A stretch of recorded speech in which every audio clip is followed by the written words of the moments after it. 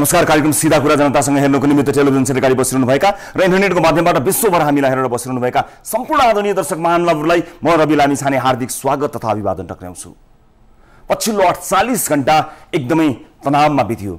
व्यावसायिक जिन्दगी र क्रियाकलापका विषयमा एउटा पनि प्रश्न देखिएन तर मेरो व्यक्तिगत जीवनसँग सम्बन्धित र बितेका पुराना कुराहरूलाई लिएर भइरहेको टिका टिप्पणीले आफ्नै कठघरामा आफै उभिएर नितान्त निजी विषयमा स्पष्टीकरण दिनु परेको छ। विद्वान दर्शकहरूले न्यायाधीशको भूमिका निर्वाह गरिदिनु हुनेछ भन्ने विश्वास लिएको छु। जीवनको एउटा कालखण्डमा घटेको घटनालाई लिएर निराश बनी निधार खुम्च्याउने कि विगतका कमी कमजोरीबाट सिकेर अघि बढ्ने भन्ने दुईवटा विकल्प बाहेक मसँग तेस्रो बाटो छैन। केही घन्टा अगाडि पत्रकार मित्र विनोद त्रिपाठीले लेख्नु भएको आलेख पढेपछि म पुनः ऊर्जावान भएको छु। त्यसैले आज विनोदजीका पङ्क्तिहरू सापट्टि लिँदै आफ्नै बारे सिधा कुरा राख्ने अनुमति चाहन्छु। कोही कसैलाई सम्बन्ध विच्छेद गर्ने परिवार भाड्ने रहर हुँदैन। सम्बन्धहरू एकजनाबाट मात्र बन्ने र बिग्रने पनि हुँदैनन्। कति कारणहरू यस्ता हुन्छन् जसलाई प्रकाशन प्रसारण गर्दा सम्बन्धित व्यक्तिको मानसपटलमा निकै गहिरो असर पर्दछ। के हरेक मानिसको जीवनमा मित्रता प्रेम सम्बन्ध सम्बन्ध विच्छेद जस्ता घटनाहरू हुँदैनन् र कुन परिस्थितिको परिणामले सम्बन्ध बिग्रन्छ र मानिस गलत निर्णयहरूको दलदलमा भाँसिन्छ भन्ने कुरा बुझ्न त्यही परिस्थिति तिनै पात्र त्यही समयमा फर्किनु पर्ने हुन्छ। अर्थी उपदेश गाली आलोचना धारणा बनाउनेहरूलाई जति सजिलो भोग्नेलाई कहाँ हुन्छ र? जीवनमा एउटै सम्बन्ध एउटै प्रेमी प्रेमिका र तिनै जीवनसाथी र तिनैसँग सुख दुःख घाम छाया बिताउन पाएका भाग्यमानीहरूलाई म जस्ता अभागीहरूको पीडा के थाहा? मानिसको व्यक्तिगत जीवनको रहस्यका वास्तविकता नबुझी धारणा बनाइदिँदा सामाजिक सञ्जालका लाइकहरू मात्र बढ्ने हुन्। उमेर पुगेपछि हुने भौतिक र प्रेममय सम्बन्धहरू गैर कानुनी होइनन् तर उत्पन्न परिणामको जिम्मेवारी लिएको छ कि छैन त्यो महत्त्वपूर्ण कुरा हो। युवावस्थामा सम्बन्धहरू कोट हुँदा युवावस्थाका सम्बन्धहरू कोट्याएर मानिसको निजी जीवनलाई समाप्त पार्ने बदनियतपूर्ण प्रयास भइरहेको देख्दा मैले के अपराध गरेछु भनेर सोध्ने सोच्न बाध्य हुन्छु। सम्बन्ध विच्छेद भइसकेपछि त्यो अध्याय समाप्त हुन्छ। च्याप्टर स्वत क्लोज हुन्छ। संसारका कहीँ पनि संसारमा कहीँ पनि सम्बन्ध विच्छेदलाई फेरि बिउत्याएर कसैलाई बदनाम गराउने चलन नै छैन। सहमतिमा भएका हरेक सम्बन्धहरूमा दुवैको बराबरी जिम्मेवारी हुन्छ। सम्बन्धहरू जसरी जोडिन्छन् त्यसरी नै टुटे भने त्यसमा एकजनाको मात्र दोष हुँदैन। दुवै उत्तिकै भागीदार हुन्छन्। आफ्ना कुनै पनि सम्बन्धहरूको जिम्मेवारी नलिएको भए म कानुनी सजायको हकदार हुनुपर्दछ। गैर कानुनी काम गर्न मलाई यो दुनियाँको कुन कानुनले छुट दिन्छ र तर कानुनको पूर्ण पालना गरेर आफ्ना बिग्रिएका भत्किएका नासिएका मासिएका सबै कुरा क्रमबद्ध रूपमा समाधान गरी यो समाजमा मुसुक्क अलिकति हाँस्ने मेरो अधिकारको हत्या नभइदिए हुन्थ्यो। के म कसैप्रति अन्याय नगरी आफूमाथि थोरै न्याय गर्ने चेष्टा गर्न सक्छु? मेरो व्यक्तिगत जीवन कसैका लागि पनि प्रेरणाको स्रोत बन्न लायक छैन होला तर मेरो व्यावसायिक जीवनले उत्प्रेरित ती हजारौँ युवाहरूलाई थप प्रेरणा दिन पनि मैले उठ्नै पर्छ। म म खराब थिएँ होला। वर्षौँ अगाडिका मेरा निर्णयहरू खराब थिए होलान्। एउटा आम सर्वसाधारण व्यक्तिको रूपमा मैले गरेका क्रियाकलापहरू अत्यन्तै गैर जिम्मेवारीपूर्ण पनि भए होलान्। तर आज म जिम्मेवार भएको छु। हिजो भइसकेको कुनै पनि कुरा म बदल्न सक्दिनँ तर हिजोका घटनाहरूबाट म बदलिएको छु। आज यति धेरै दर्शकहरूको साथ र यति धेरै दर्शकहरूको आशलाई जिम्मेवारीका साथ प्रतिनिधित्व गर्नुपर्छ भन्ने कुरामा म सजग छु सचेत छु आज। म खराब मानस प्रेरित भएको भए सार्वजनिक जीवनमा आउने नै थिएन। संसारको कुनै पनि गल्लीमा लुकेर बस्दै गुमनाम हुन्थे। मैले आफ्नो पीडाबाट उठ्ने निर्णय गरेँ। थोरै सफलता पनि मिल्यो। थोरै सफलता पनि मिल्यो। तर सायद यही थोरै सफलता नै मेरो शत्रु बनेर पाइला पाइलामा उभिदिन्छ। बितेका कुरा कोट्याउनु विच्छेद भएको सम्बन्धलाई बिउताएर अर्थी उपदेश र व्यङ्ग्य प्रहार हुनु। एक मनले एकैछिन सोचे सबैको बाटोको तगारो र घाँडो भनेर के बस्नु? होस् छोडिदिन्छु यो सब। फेरि अर्को मनले सोचे कलिला बालबालिकाहरूमाथि जघन्य अपराध भइरहेको छ। विषको पोको बोकेर अन्तिम उपायका रूपमा कार्यालयमा आउनेहरूको भिड घटेको छैन। चेलीहरू एक देशबाट अर्को देशमा सामान जसरी बेचिएको बेचिए छन्। घुसखोरी दलाली कमिसनखोरी मौलाएको छ। स्वास्थ्य चौकीमा डाक्टर र औषधि छैनन्। युवालाई ठगेर मोटाउनेहरूको भुँडी फुट्न मात्र आँटेको छ। अड्डाहरूमा फाइलै पछि घुस खुल्लम खुल्ला चलिरहेको छ। यौन पिपासुहरू करिला छोरी चेलीहरूमाथि वक्र दृष्टि लगाएको लगाइछन्। बोल्न सक्नेहरू के बोल्न नसक्नेहरू केवल बलिन्न धारा आँसु मात्र बगाउँछन् सरकारको रेडियो र टिभी छिर्न पासै छैन पास भए पनि आशै छैन। साइबर क्राइम गर्नेहरू छोरी चेलीको फोटोहरू फोटोसप गर्दै नाङ्गो पारिरहेका छन्। नुनदेखि सुनसम्मको महँगी र कालो बजारी व्याप्त छ। दलहरूका भ्रष्टाचार ज्यादतीमा खबरदारी गर्नै बाँकी छ। सडकमा गुड्ने साइकल यानदेखि आकाशमा उड्ने विमानसम्म घोटालै घोटाला छ। कति हो गति? व्यक्तिगत जीवनमा बितेका घटना कोट्याएर कमजोर पार्ने प्रयास अगाडि कसरी घुँडा टेक्ने दर्जनौँ चेलीको उद्धार यही स्टुडियोबाट भयो। दर्जनौँ भ्रष्टाचारीहरू यहीँबाट जेल गए। विष पिउँछु भनेकाहरू नयाँ जीवन नयाँ पाएर जीवनको नयाँ स्वाद पिइरहेका छन् वृद्ध बाआमाहरू। खानापिना र आवास पाएर आशीर्वाद दिइरहेका छन्। ससाना बालबालिकाहरू विदेशीहरूबाट बेचिन सित बेचिनबाट जोगिएका छन् रोकिएका छन्। दलालहरू दुलोभित्र लुकेका छन्। बाढी पीडित मुसहरहरू निर्धक्कसँग आफ्नै घरमा बसेका छन् र छिट्टै दुर्गम कर्णालीको कालीकोटको राजकोटमा पन्ध्र सयको स्मार्ट डिजिटल अस्पताल बन्ने तयारीमा छ। राजकोटका धेरै सुत्केरी छोरी आमा र शिशुहरूको ज्यान बचाउनु छ। पछि हट्ने जाबो एउटा कारण छ तर अघि बढ्ने सयौँ हजारौँ कारणहरू छन्। एउटा गीतको सम्झना आयो म लडेको मात्र मरेको छैन। व्यक्तिगत जिन्दगीमा प्रहार गरेर मलाई सिद्ध्याइ नै दिने षड्यन्त्रकारीहरूको सायद यो अन्तिम अस्त्र थियो होला तर मेरो चाहिँ यो अन्तिम क्षमता होइन। व्यक्तिगत जिन्दगी जिन्दगी पनि उच्च नैतिकता र आदर्शले भरिपूर्ण हुन सकेको भए राम्रो हुन्थ्यो। म त्यसमा चुकेँ तर भविष्यमा सचेत र सजग रहन्छु। मलाई विश्वास गर्नेहरूले मेरो कारण कहिल्यै पनि आफ्नो शिर निहुराउनु पर्ने छैन। आफ्नो पेसाप्रति म सधैँ इमान्दार छु र रहिरहनेछु तर व्यक्तिगत जिन्दगी मेरै मात्र लयमा कहाँ चल्दो रहेछ र गोरेटोमा भेटिने र दोबाटोमा छुट्टिनेहरूको नियत मेरो बसमा रहेन। मैले आफूलाई बचाउन यी कुराहरू लेखेको अथवा राखेको होइन।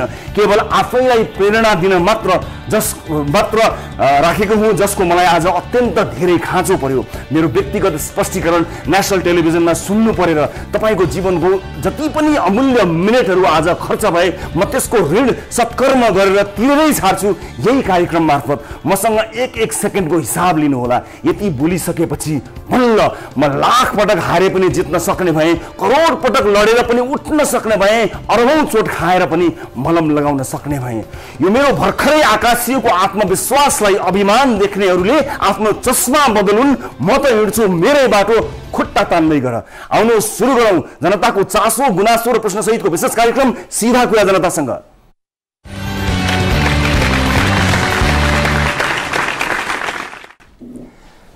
ब्रेकपछि स्वागत छ सम्पूर्ण आदरणीय दर्शक महानुभावहरूलाई। कार्यक्रम सिधा कुरा जनतासँग दर्शक महानुभावहरू प्रत्येक मङ्गलबार बिहिबार र शनिबार यो कार्यक्रम न्युज ट्वेन्टी फोर टेलिभिजनको स्टुडियोबाट प्रत्यक्ष रूपमा प्रसारण हुन्छ।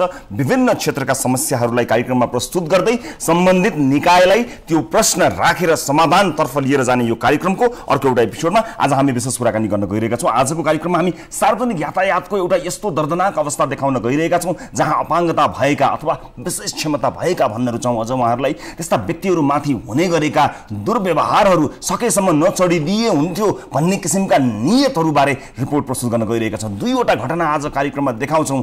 एउटा दृष्टिविहीन मानिसमाथि भएको जुन किसिमको दुर्व्यवहार र अन्य रूपमा शारीरिक रूप शारीरिक रूपमा अपाङ्गता भएका व्यक्तिहरूमाथि भएको दुर्व्यवहारको एउटा दृष्टान्त तपाईँहरूलाई देखाउँछौँ आजको कार्यक्रममा। आजकै कार्यक्रममा हामी रामबहादुर बमजन जो धर्मगुरुका रूपमा चिनिन्छन् उनको आश्रममा प्रहरीले गरेको छापाको एउटा फलोअप रिपोर्ट प्रस्तुत गर्न गइरहेका छौँ। विशेष गरेर प्रहरीले आशंका गरेको उनको आश्रममा मानिसलाई मृत्यु गरी गाडिएको र लास गढाउनका गलाउनका लागि नुनको प्रयोग भएको जुन कुरा आएको थियो। त्यसका त्यसमा आधारित रहेर प्रहरीले गरेको सिआइबीले गरेको यो अनुसन्धान र त्यसको अपडेट आजको कार्यक्रममा प्रस्तुत गर्छौँ र सम्बन्धित प्रहरी अधिकारीको अपडेट आजको कार्यक्रममा प्रस्तुत गर्छौँ। आजकै कार्यक्रममा हामी एकजना यस्तो छोरीको कथा देखाउन गइरहेका छौँ। यहाँलाई थाहा छ हामीले केही समय अगाडि भारतबाट नेपाल आफ्नो आमा खोज्न आएकी एउटी चेलीको विषय देखाइसकेपछि आमा छोरीको वर्षौँ पछिको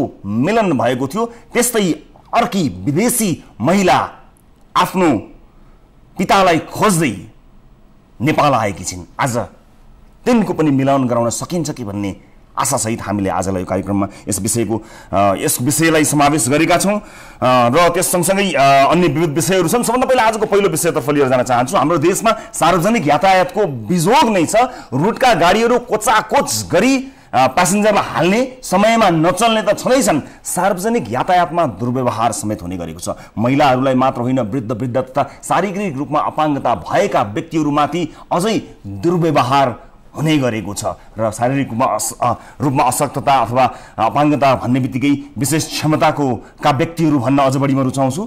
सरकारले सार्वजनिक यातायातमा ज्येष्ठ नागरिक र अपाङ्गता भएका ती विशेष क्षमता भएका व्यक्तिका लागि पसा पचास प्रतिशत छुट हुनुपर्ने व्यवस्था गरेको छ तर पचास प्रतिशत छुट दिनुपर्ने अनि समय लाग्ने भन्दै गाडीवालाहरू उनीहरूका लागि गाडी नै रोक्दैनन्। गाडीमा चढिहाले भने पनि राम्ररी नबोल्ने दुर्व्यवहार गर्ने अनि भाडा घटाउने सामान्य भाडा नघटाउने सामान्य घटना जस्तै भइसकेका छन्। आज हामीले दुईवटा घटनालाई लिएका छौँ। एक वृद्धालाई गाडीका सहचालकले दुर्व्यवहार गरेको र अर्को दृष्टिविहीनलाई गाडीका स्टाफले कुटपिट्ने गरेको। आउनुहोस् यो रिपोर्ट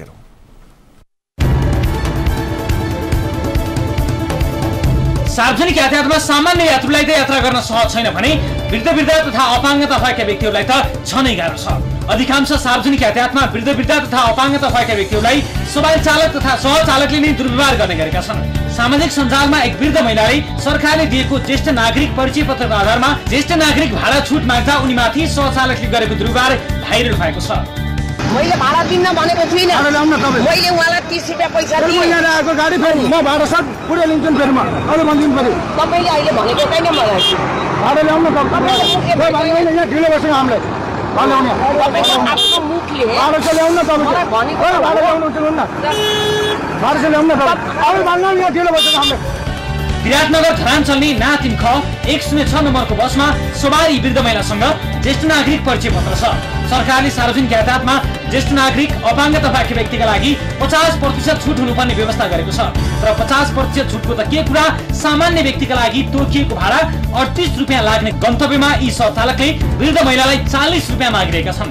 उनले दिनुपर्ने उन्नाइस रुपियाँ मात्रै हो तर उनले तिस रुपियाँ दिइन् तिस रुपियाँ दिएको? अँ, अनि उहाँले चाहिँ के भन्नुभयो? उहाँले चालिस रुपियाँ दिए रुपियाँ मै मेरो आइडेन्टिटी कार्ड छ भने मैले अडतिस रुपियाँ भाडा हो चालिस रुपियाँ मलाई दिनुहोस् नभए पुलिससित जा भन्नु। तर सहचालकले चालिस रुपियाँ नै दिनु पर्ने भन्दै ती वृद्ध महिलासँग अपशब्द बोल्दै दुर्व्यवहार गरे। चाहिँ सरी भन्दिनँ म म सरी भन्दिनँ। सरी भन्दिनँ। ल्याउन न।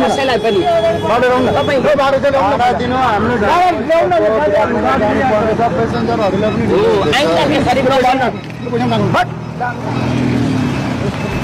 छुटको त के कुरा? वृद्ध वृद्ध र अपाङ्गता भएको व्यक्तिलाई अधिकांश सवारीले गाडीमै चढाउँदैनन् मोरङका दृष्टिबिन द्वय विपिन योगी र चन्द्र सुब्बा गुरुङलाई हामदाके यातायातको को एक ख एकहत्तर बिस नम्बरको बसका सञ्चालकले मन परी भाडा लिएको र यसको विरोध गर्दा कुट पिट्ने गरी गाडीबाट निकालिदिएका छन्। ढोकामा चढ्ने क्रममा त्यो स्टाफले चाहिँ ए यो अन्धाले त चाहिँ पैसा दिँदैन। यो अन्धाहरूको त बिचमा चाहिँ गाडीको भाडाको बिचमा ल्याङल्याङ गर्छ। कयौँ ठाउँमा चाहिँ देखेको छ हामीले। भनेर चाहिँ धकालिदिनु भयो धकालिदिइसकेपछि उहाँ हुर्किनु भयो अनि पछाडि एकजना दाजु हुनुहुन्थ्यो उहाँले नसमातेको भए सायद त्यहाँ पछाडिन्थ्यो होला पनि ढुङ्गा भएको भए चोटपट लाग्थ्यो होला पनि होइन? पूर्वका अधिकांश सार्वजनिक यातायातमा अपाङ्गता भएका व्यक्ति र ज्येष्ठ नागरिकले दैनिक भोगिरहेको समस्या हो यो। यहाँ कस्तो प्रकार हुन्छ भने चाहिँ ए अपाङ्गको सिट खोजी गर्ने हो भने त हुँदैन। ओह्राल्ने पछि यो अपाङ्गहरूलाई चढाउनु हुन्न भन्ने खालको छ के? मेन कुरा। त्यो छ। त्यो छ। अनि त्यसपछि हामीलाई अलिकति चढ्न नदिने यो विषयमा प्रहरी प्रशासन तथा स्वयं यातायात व्यवसायी जानकार भए पनि कारवाही भएको भने देखिँदैन। दर्शक महानुभावहरू यस विषयमा कुराकानी गर्न टेलिफोन सम्पर्कमा हुनुहुन्छ ट्राफिक प्रहरी प्रमुख एसएसपी बसन्त पन्त। पन्त सर नमस्कार स्वागत छ यहाँलाई कार्यक्रममा। नमस्कार धन्यवाद। सर यसरी अपाङ्गता भएका अथवा विशिष्ट क्षमता भएका व्यक्तिहरू विशेष गरेर दृष्टिविहीन व्यक्तिहरूको बारम्बार कम्प्लेनहरू आइरहन्छ। सहचालकहरूबाट अथवा बस चालकहरू भनौँ उहाँहरूबाट हुने गरेको यो दुर्व्यवहार रोकिने त के? उहाँहरू घाँडो जस्तो भइसक्नु भएको छ। धेरैले हाम्रो कार्यालयमा समेत कम्प्लेन गर्नुभएको छ। आज त हामीले रेकर्ड पनि गरायौँ। विशेष व्यवस्था केही हुन सक्ने सम्भावना छ अथवा तपाईँहरूले के पहल गर्दै हुनुहुन्छ यसका लागि? एकदमै कुनै पनि सार्वजनिक यातायातमा चढ्ने वृद्ध वृद्ध अपाङ बालबालिकाका निमित्त सरकारले नै महिला समेतका निमित्त सरकारले नै सिटको सुरक्षा गरेको छ र सिटको व्यवस्था पनि गरेको छ। आरक्षणको व्यवस्था वृद्धका लागि आरक्षणको व्यवस्था पनि गरिसकेको अवस्थामा हजुर। पनि व्यक्तिले फेरि तपाईँहरूको टेलिभिजनमा अहिले देखाइयो मैले सुने यो गर्न पाइँदैन। यस्ता किसिमका व्यवहार गर्ने व्यक्तिलाई नेपालको कानुन अनुसार केही सार्वजनिक अपराध वा केही सार्वजनिक स्थलमा गरेको अभद्र व्यवहार समेतको कानुन आकर्षण हुन्छ र त्यस्ता व्यक्तिलाई कारवाही हुन्छ र ट्राफिक प्रहरीको हिसाबले बोल्नु पर्दा मैले कुनै पनि सार्वजनिक सवारी साधनमा यदि चालक सहचालक वा अन्य व्यक्ति अ, अन्य व्यक्तिले यात्रुलाई अभद्र व्यवहार गर्छ भने त्यस्तालाई कारवाही हुन्छ। र अब हामी तपाईँले देखाउनु हो अब हामी सुरु गरि पनि रहेछौँ र अहिले उहाँहरूले जो दिनुभयो तपाईँहरूसँग नि हामी समन्वय गरेर यस्ता व्यक्तिलाई कानुनको दायरामा पनि ल्याउँछौँ र हामी कडाभन्दा कडा चेक जाँच व्यवस्था पनि मिलाउँछौँ हजुर अब यसरी म एउटा कुरा यहाँलाई सोध्न चाहन्छु। हजारौँ गाडीहरू छन् हजारौँ मानिसहरू छन् जसले पीडा भोगेका छन्। तपाईँहरूले थाहा पाउने चाहिँ कसरी? तपाईँले कागजमा लेखिएको कानुनले के भन्छ के सजाय दिन्छ भन्ने कुरा त कण्ठ भयो होला। दा तपाईँ सधैँ पेसामा काम गर्नुहुन्छ।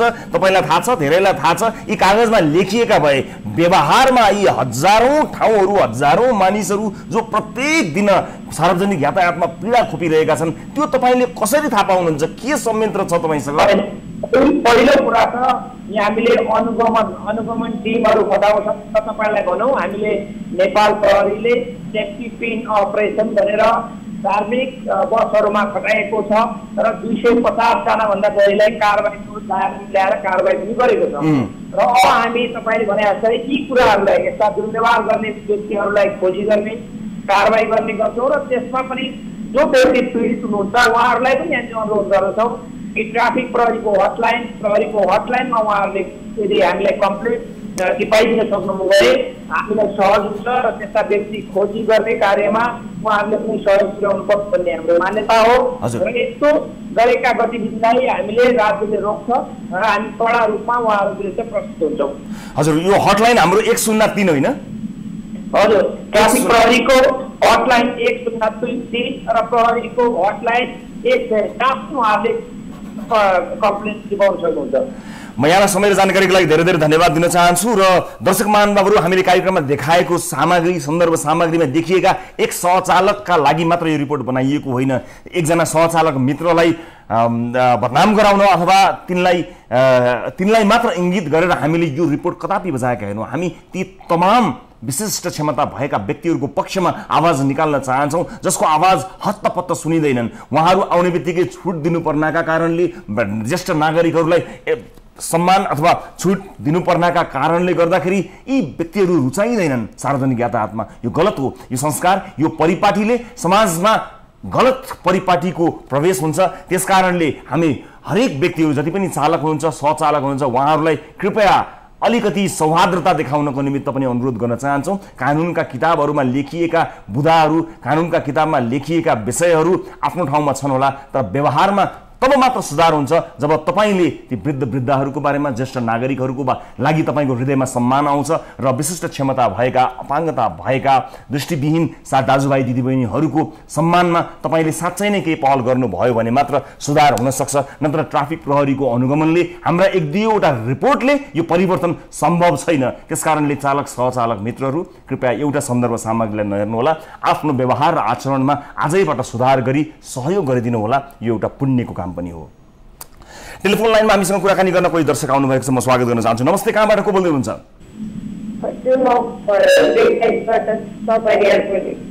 को बोल्दै हुनुहुन्छ आफ्नो सिधा कुरा राख्नु होला त्यति आवाज बुझिएको छैन। आफ्नो सिधा कुरा आफ्नो समस्या राख्नु होला मेरो श्रीमान हराउनु भएको आज तिन महिना भइसक्यो। हजुर। कन्ट्याक्टमा नि आउनु भएको छैन। तिन महिनादेखि श्रीमान हराउनु भएको छ। तपाईँको श्रीमानको नाम बताउनु होला अलिकति केही हुलिया बताउनु होला। हुन त हराएका मानिसहरू अ, लाई खोज्नको लागि तपाईँ भिडियोमा आउनुभएको भए हामी अलिकति उहाँको तस्विर देखाउन सक्थ्यौँ होला। तैपनि केही उहाँको हुलिया बताइदिनुहोस् ताकि टेलिभिजन हेर्ने दर्शकहरूले मद्दत गर्न सक्नुहोस्। उहाँको नाम उहाँको हुलिया उहाँ कस्तो देखिनुहुन्छ कहाँबाट हराउनु भएको एकपटक बताइदिनुहोस् न। हजुर नाम एकपटक फेरि भन्नुहोला अजय श्रेष्ठ अजय श्रेष्ठ। कहाँबाट हराउनु भएको हो। धनगढीबाट? भरतपुर? भरतपुर चितवन? हजुर। अनि उहाँ कस्तो देखिनुहुन्छ? कुन उमेरको हुनुहुन्छ? अलिकति बताउनुहोस् न। गहुँ गोरो हुनुहुन्छ। हामी आशा गर्दछौँ तपाईँले अन्य सञ्चार माध्यमहरूबाट पनि जस्तो नेसनल टेलिभिजनहरू नेपाल सरकारको मार्फतमा रहेका नेपाल टेलिभिजन रेडियो नेपालमा पनि तपाईँले स- गरिदिनु होला तपाईँका लागि जहाँसम्म मलाई लाग्दछ अ, निशुल्क त्यस्ता सुविधाहरू छन्। ती सुविधाहरूको गोर्खापत्रकमा पनि निशुल्क त्यस्ता सुविधाहरू छन्। त्यसको पनि प्रयोग गर्नुहोला। म बुझ्दछु आफ्नो श्रीमान तिन महिनादेखि हराउँदाको पीडा म बुझ्दछु। हामी पनि प्रोसेस गर्नेछौँ। हाम्रा टिमका साथीहरूले तपाईँसँग फेरि कुराकानी गर्नुहुनेछ र अर्को माध्यमबाट तपाईँसँग जोडिनुहुनेछ। म तपाईँलाई धैर्य धारण गर्नको निमित्त अनुरोध गर्न चाहन्छु र आशा गर्दछु तपाईँको र तपाईँको श्रीमान बिच चाँडै नै भेटघाट हुनेछ मिलन हुनेछ। म एकदम धेरै आशावादी हुन तपाईँलाई अनुरोध गर्न चाहन्छु र आजको अर्को विषयतर्फ दर्शकहरूको ध्यान आकर्षित गर्न चाहन्छु। आश्रम खोलेर तपस्वी बनेका रामबहादुर बमजनको आश्रममा प्रहरीले छापा मारेको छ। सिन्धुपाल्चोक प्रहरी र सिआइबीको टोलीले बमजनको आश्रममा छापा मारेको हो। आफ्ना परिवारका सदस्य बेपत्ता भएको भन्दै आफ्ना आफन्तले खोजिदिन पीडितका परिवारहरूले आफ गुहार लगाएपछि प्रहरीले यस विषयमा छानबिन सुरु गरेको छ। बमजन आश्रममा यौन शोषण हुने गरेको हत्या हिंसा र मानव बेपत्ता परेको पीडितका परिवारले बताएका छन्। प्रहरीले पनि बमजनको आश्रम नजिकै नुनका खाली प्याकेटहरू भेटाएको छ। ती प्याकेटहरू बीच भागबाट च्यातिएको हुनाले उनको आश्रममा थप उनको आश्रम थप रहस्यमय बनेको छ। त्यसमा प्रहरीले आशंका गरेको छ। आरोप यस्तो थियो कि मानिसलाई मारेर कुटपिट गरेर खाल्डोमा गाडी नुन छर्किएर लास गलाउने काम भएको भनिएको थियो। यस विषयमा प्रहरीले अनुसन्धान सुरु गरेको छ। आउनुहोस् यो फलोअप रिपोर्ट हेरौँ। तपस्वी भनिएका रामबहादुर बमजनको सिन्धुपाल्चोक इन्द्रावती गाउँपालिका छ बाणीगाउँ स्थित टोड्के जङ्गलमा रहेको आश्रममा प्रहरीले अनुसन्धान थालेको छ। फरेन्सिक विज्ञसहित जिल्ला प्रहरी कार्यालय सिन्धुपाल्चोक र केन्द्रीय अनुसन्धान ब्युरो सिआइबीको टिमले आश्रम परिसरमा खोज तलास गर्दा तिन सय मिटरको दूरीमा नौवटा नुनको प्याकेटका खोल भेटिएको सिन्धुपाल्चोक प्रहरीका प्रहरी नायक परीक्षक विमलराज कणेलले बताउनु भयो। यससँगै आश्रमबाट हराएका भनिएका सञ्चालक वायुवाको हत्या भएको आशंका झन बढेको छ। मृत शरीरलाई छिटो ग्राममा नुन प्रयोग गरिन्छ। खोल भेटिएको ठाउँमा मानव कङ्गाल भने भेटिएको छैन। सञ्चालका छोरा महेन्द्र वाइवाले बाबु खोजी पाउँ भनी बिहिबार जिल्ला प्रहरी कार्यालय सिन्धुपाल्चोकमा जाहेरी दिएका थिए। सञ्चालका छोराले आफ्नो बुवालाई कुटेर मारेको आरोप लगाएका छन्। सञ्चालको सोही आश्रममा हत्या गरी गाडिएको अनुमानका आधारमा अनुसन्धान अघि बढाएको प्रहरीले जनाएको छ। प्रहरीका अनुसार बमजनका अर्का अनुयायी सुरेश आले पनि यही आश्रममा हराएका थिए। त्यसै गरी अनि दुवै डोल्मा र चुनमा पनि बाडगाउँकै आश्रमबाट बेपत्ता भएको उज्रुका आधारमा प्रहरीले खोज थालेको छ। सबैभन्दा पहिले बाह्रको रतनपुर जङ्गलमा तपस्यामा बसेका भनेका बमजन सुरुवाती विवादित छन्। उनीमाथि पुरुष अनुयायीलाई यातना र महिला अनुयायीलाई यौन हिंसा गरेको र ज्यानसम्म लिएको अभियोग सहितका उजुरी प्रहरीमा दर्ता भएका छन्। दर्शक महानुभाव तपस्वी रामबहादुर बमजनका विषयमा कुराहरू आइसकेपछि यस अगाडिको कार्यक्रममा हामीले तपस्वीसँग सम्बद्ध व्यक्तिसँग कुराकानी पनि गरेका थियौँ। आश्रमका तर्फबाट आश्रमका प्रतिनिधिसँग कुराकानी पनि गरेका थियौँ र कुराकानीको क्रममा अन्तर्वार्ताका लागि उहाँसँग भेटघाट गराउने विषयमा त्यो अन्तर्वार्ता रेकर्ड गर्ने प्रस्ताव मैले राखेको थिएँ। त्यो प्रस्तावलाई उहाँहरूले समन्वय गर्ने क्रममा सम्पर्कहरू भइरहेको छ र दुवै पक्षको हाम्रो र उहाँको समय मिलाएर त्यो कुराकानी उहाँसँगको प्रत्यक्ष संवादको तयारीमा हामी जुटेका छौँ र अन्य सञ्चार माध्यमहरूलाई पनि त्यो अवसर मिल्ने कुराको ग्यारेन्टी अघिल्लो पटकको कुराकानीमा बमजनका प्रतिनिधिले गरिरहेको परिप्रेक्ष्यमा हामी त्यसको पूर्ण तयारीमा छौँ र हामी आशावादी छौँ। दुवै पक्षको समयको सन्दर्भ मिलाएर हामी केही कुराकानी गर्न सफल पनि हुनेछौँ। यसैबीच प्रहरीले गरेको यो अनुसन्धानले केही न केही निचोड पक्कै पनि हुनेछ र पीडितले जुन उजुरी दिएका छन् उहाँहरूलाई न्याय मिल्नेछ भन्ने कुरामा विश्वास गर्ने केही ठाउँहरू यहाँ देखिएको छ। अहिले यति मात्र भनौँ र घटनाबारे थप जानकारी लिनको निमित्त यतिखेर हामीसँग टेलिफोन सम्पर्कमा आउने आउने कोसिसमा हुनुहुन्छ सिन्धुपाल्चोक प्रहरीका प्रवक्ता डिएसपी विमलराज खडेल उहाँसँग सम्पर्क हुने कोसिस हाम्रो मास्टर कन्ट्रोल रुममा रहेका साथीहरूको जारी नै छ। हामी पीडितहरूका लागि र विशेष गरेर यस विषयमा यस विषयमा सरकार राख्नुहुने सबैका लागि यो अपडेट दिन लागिरहेका छौँ। तर हाम्रो प्रयास सफल हुन नसकेको जानकारी मलाई मास्टर कन्ट्रोल रुमका साथीहरूले गर्नुभएको छ। आ, ब- विमलराज कणेलज्यूसँग प्रहरी प्रवक्तासँग गर्ने यो कुराकानी आज टेलिफोन सम्पर्क हुन सकेको छैन तर आवश्यक परे हामी त्यो हामी आवश्यक परेको खण्डमा हामी फलोअप पक्कै पनि गर्नेछौँ। र दर्शकहरू यतिखेर टेलिफोन सम्पर्कमा भन्ने कोही आम सर्वसाधारण आफ्नो समस्यासहित आउनुभएको जानकारी आएको छ। नमस्ते स्वागत छ। कहाँबाट को बोल्दै हुनुहुन्छ?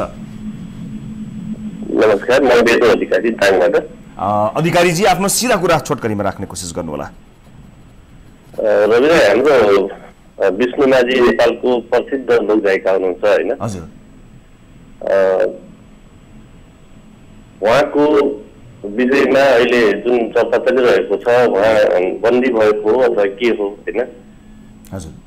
त्यो कुरा यसो बाहिर ल्याउन पाए हुन्थ्यो कि भन्ने कुरा गायिका विष्णु माझीका विषयमा कुरा गर्नुभयो तपाईँले? हजुर हजुर।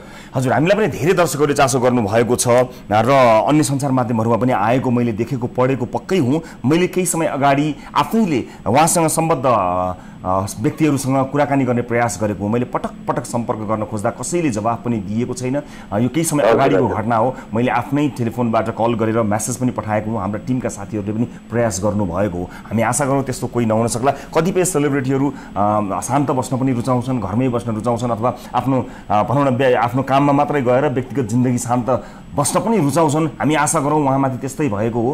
ख्यातिप्राप्त र सुमधुर स्वरकी धनी यी गायिकाका विषयमा धेरै चासोहरू आएको छ र अब आज झन् तपाईँले यो विषय उठान गरिसकेपछि हाम्रो टिम यसमा कटिबद्ध भएर लाग्नेछ। हामी केही न केही नतिजा अथवा केही न केही जानकारी तपाईँहरूलाई पक्कै पनि दिने दिनेछौँ। यो हाम्रो तपाईँलाई बाचा भयो। म यहाँलाई धेरै धन्यवाद दिन चाहन्छु कन्सर्नका लागि। गायिका विष्णु माझीका बारेमा धेरै प्रश्नहरू आइरहेको परिप्रेक्ष्यमा हामी आउने कार्यक्रमसम्ममा केही न केही नतिजा र केही न केही जानकारी दर्शकहरूलाई दिने पुरै प्रयत्न गर्नेछौँ भन्दै अहिलेलाई बेला भएको छ ब्रेकको। ब्रेकपछि हामी अन्य विविध विषयहरू समेत यहाँहरूसँग समेत सहित यहाँहरूसँग चाहिँ प्रस्तुत हुनेछौँ। कहीँ नजानुहोला न्युज ट्वेन्टी फोर टेलिभिजनमा तपाईँ हेर्नु भएको छ कार्यक्रम सिधा कुरा जनतासँग।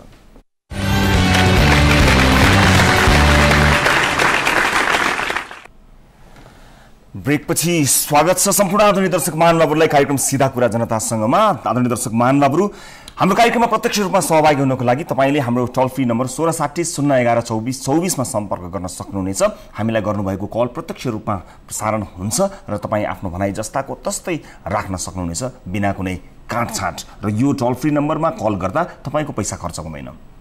अब आजको अर्को विषय कपिल वस्तुका नदी नालामा चोरी तस्करीमा प्रहरीको संलग्नता रहेको भनी सर्वसाधारणले आरोप लगाइरहँदा प्रहरीलाई रेखदेख गर्न भनी दिइएको सामान रातारात चोरी भएको छ। नदीजन्य पदार्थ चोरी गर्ने गिरोहलाई छिटपुट कारवाही गरेर मक्ख परेको प्रहरीमाथि गए राति भएको चोरीले मिलेमतो भएको आशंका उब्जिएको छ। कपिलवस्तुको बाणगङ्गा सात बनगाई क्षेत्रको बाणगङ्गा नदी किनारमा अवैध रूपमा डम्पिङ गरिएको एक सय बढी ट्रली बालुवा स्थानीय टोलीले फेला पारेर प्रहरी र स्थानीय तहलाई खबर गरेका थिए। तर त्यही बालुवा चोरी भएको छ। प्रहरीलाई हेर्न भनी जिम्मा लगाइएको बालुवा कसले चोर्यो? कपिल वस्तुबाट टिभी जर्नलिस्ट मनोज श्रीवास्तवले पठाएको यो रिपोर्ट हेर्नुहोस्। कपिल वस्तुको बाणगङ्गा नदी किनारको नदीजन्य वस्तु तस्करीमा प्रशासन र प्रहरी नै एक अर्कालाई दोष लगाएर उम्किन खोजेका छन्।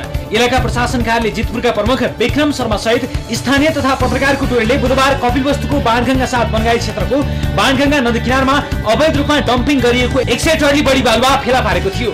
ठूलो परिमाणमा रहेको बालुवा सुरक्षा र व्यवस्थापनको लागि तत्कालै प्रहरीले वडा अध्यक्षलाई जानकारी गराएका थिए। तर अर्को दिन स्थानीय तथा पत्रकारको टोली बालुवा डम्पिङ गरेको क्षेत्रमा पुग्दा आधा पनि बालुवा त्यहाँ थिएन। यो विषयमा इलाका प्रशासन कार्यालय जितपुरका प्रमुख विक्रम शर्मासँग बुझ्दा आफूले तत्कालै व्यवस्थापन गर्न नसकेकाले प्रहरीलाई सुरक्षा निगरानी गर्न अनुरोध गरेको दावी गरे। यो सुन्नुहोस्। मैले प्रहरीलाई भनेको थिएँ। के भनेको थिएँ भने यो डम्प यसरी डम्प गरेर राखेको छ अवैध रूपमा। अवैध रूपमा डम्प गरिएको भएर अब आजलाई चाहिँ उठाउन सकिएन हजुर।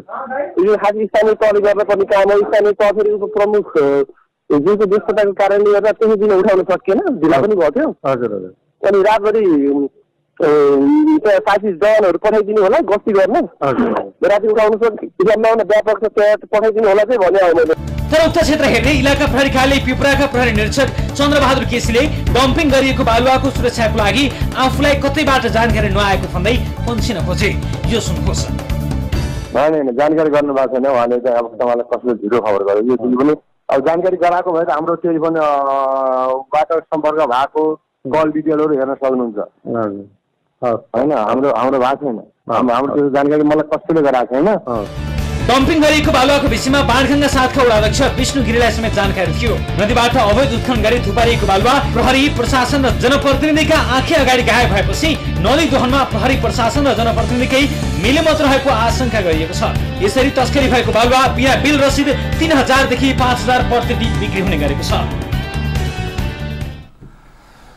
दर्शकहरू अवैध रूपमा नदीजन्य पदार्थहरूको दोहनका विषयमा हामीले विभिन्न समयमा रिपोर्टहरू प्रस्तुत गरि नै रहेका छन् गरि गर्दै गर्दै आइरहेका छौँ र यस विषयमा पनि कुराकानी गर्न यतिखेर हाम्रो टेलिफोन सम्पर्कमा हुनुहुन्छ। इला हाम्रो हामीले बाणगङ्गा इलाका प्रशासन कार्यालयका अधिकृत बेगम शर्मासँग पहिला हामी कुराकानी गर्छौँ त्यसपछि प्रहरीसँग आवश्यक परे कुराकानी गर्छौँ। अधिकृत विक्रम शर्मा जो इलाका प्रशासन कार्यालयका अधिकृत हुनुहुन्छ। विक्रमजी नमस्ते स्वागत छ तपाईँलाई कार्यक्रममा। तपाईँसँग केही पनि कुरा भएको छैन भनेर प्रहरीले बताउनु भएको छ। तपाईँहरू भने प्रहरीले हामीले भनेको जानकारी गराएको भन्नुहुन्छ बालुवा गायब भयो हरायो अनि के हो त यो वास्तविकता? मैले पत्रकारहरू पनि पत्रकार मित्रहरू पनि साक्षी हुनुहुन्छ। आवश्यक परेको खण्डमा मैले हजुरलाई कल हिस्ट्री पनि उपलब्ध गराउन सक्छु त्यसमा कुनै शङ्का छैन।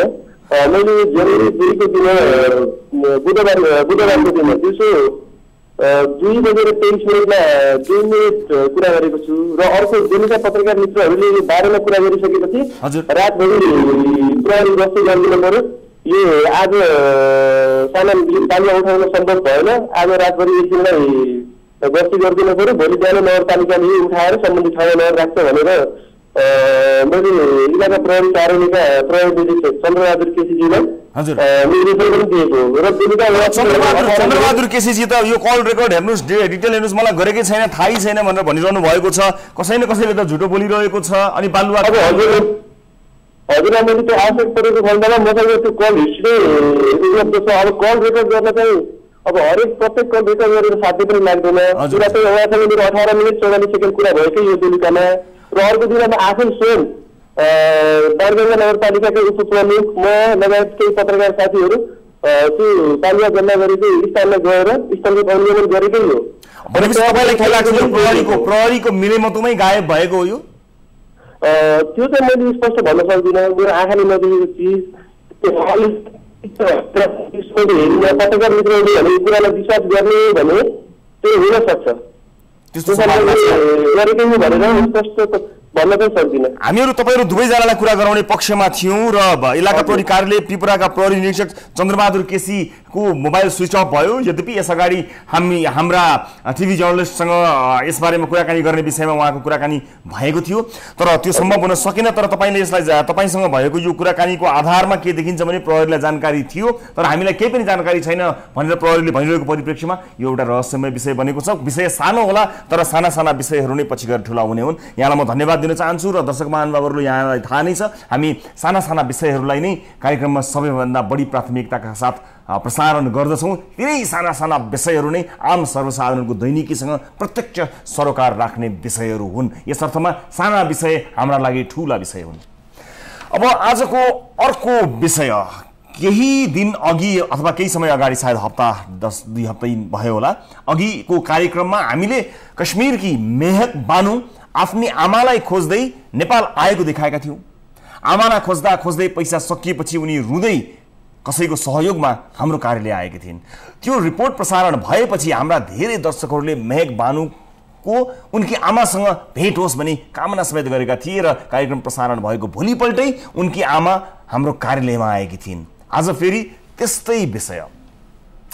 मेहकको उनकी आमासँग भएको भेटका बारेमा थाहा पाएपछि जर्मनीबाट एउटी छोरी आफ्नो बुवा खोज्दै नेपाल आएकी छिन्।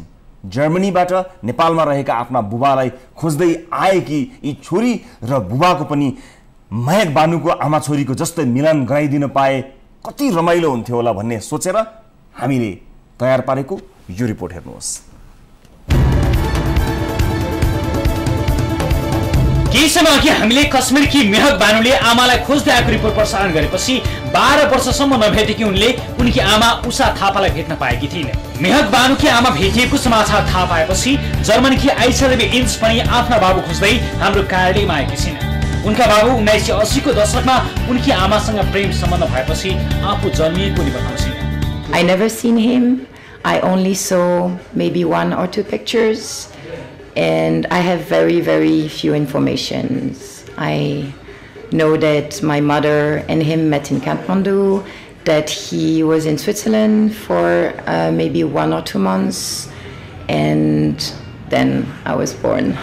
आफ्ना बाबुको अनुहार समेत नदेखिएको उनलाई आफ्ना बाबुलाई हेर्न मन छ बुबासँग बोल्न मन छ भेट्न मन छ हजुरआमाको काखमा हुर्किएकी उनी उनकी आमा स्विजरल्यान्डमा भए पनि उनी आफ्नो श्रीमानसँग जर्मनीमा बस्छिन् अहिले भने उनलाई आफ्नो परिवारका सबै सदस्य सँगै हुन मन छ आमालाई बुबा भेटाउन मन छ आफ्नो र बाबुको पहिचानसँगै दुई देशको संस्कार जोड्न पनि बाबुलाई खोजिरहेको उनी बताउँछिन् because I want to connect with him and connect with maybe members of the family. And for me, it was always a, an identity quest, and I always felt incomplete as a Western. And I think it's a huge part of how I grew up. My fantasy about my father, he was always a hero in my head. And I think I'd like to connect and make a bond between. Uh, my Western culture and Nepali culture. बाबुको एउटा photo र उनका बाबुले सही गरेको यो पत्र मात्र छ उनीसँग बाबुको वास्तविक अनुहार समेत नदेखि उनले बाबुलाई भेटेर जिन्दगीका कथा व्याथा बाँड्ने सपना पनि देखेकी छिन् He always been in my heart and I think love is exponential so I think if we met we if we meet we can build another cosmos together. He was always my hero in my heart and yeah, he's part of my DNA also. मेहक बानुले जस्तै आइसालाई पनि आफ्नो बुबा भेटिनेमा पुरा विश्वास छ कतिसम्म भने उनकी छोरी पनि हजुरबालाई भेट्न हतारिएकी छिन्। दर्शक महानुभावहरू विदेशी नागरिकहरू पनि हाम्रो कार्यक्रम मार्फत केही मद्दत हुन्छ भन्ने कुरा थाहा पाउन थालेका छन्। यो हाम्रो लागि खुसीको कुरा हो र हामी यो परिवारको पनि मिलन भएको हेर्न आतुर छौँ। हामी चाहन्छौँ यसमा कुनै अन्यथा नहोस्। खालि विशुद्ध उनको आफ्नो परिवार आफ्नो बुवालाई भेट्ने चाहनाका अगाडि हाम्रो केही लागेको छैन र यो खुसी अझ बढोस् भन्नका लागि हामीले रिपोर्ट प्रस्तुत गरेका हौँ र हामी आशा गर्दछौँ यो परिवारको पनि मिलन हुनेछ र हामी यो त्यो रिपोर्ट पनि कार्यक्रममा प्रसारण गर्न सक्षम हुनेछौँ। दुवै देश र दुवै संस्कृतिप्रति अगाध प्रेम राखेका यी आमा छोरीले आफ्नो बुवा र हजुरबुवालाई भेट्न पाउन्। यही कामना गर्दै आजका लागि कार्यक्रमबाट बिदा लिनुपर्ने बेला आइसकेको छ। थप न्युजका लागि हाम्रो website W W W dot news twenty four Nepal dot कममा जानुहोला। साथै हामीलाई फेसबुक ट्विटर र युट्युबमा पनि फलो गर्न सक्नुहुनेछ। कार्यक्रम सिधा कुरा जनतासँगको आजको श्रृङ्खलाबाट सम्पूर्ण युनिटका साथमा दसौँलाई जोडेर नमस्ते रवि लामिछानेको